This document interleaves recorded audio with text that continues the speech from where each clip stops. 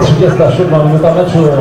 Syrenat Zgłoszynek wychodzi na prowadzenie po piętej akcji, a bramkę na 1-0 dla Syreny z Zgłoszynek zdobywa kapitan zawodu numerem 13 Paweł.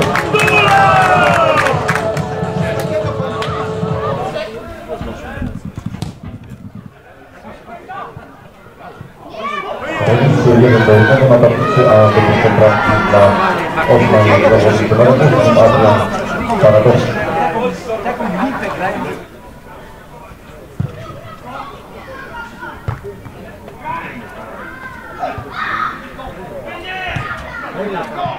Dwa do jednego dla Syreny Złośnego, bramkę numer 2 zdobywa zawodnik z numerem 5 Marcin Weber.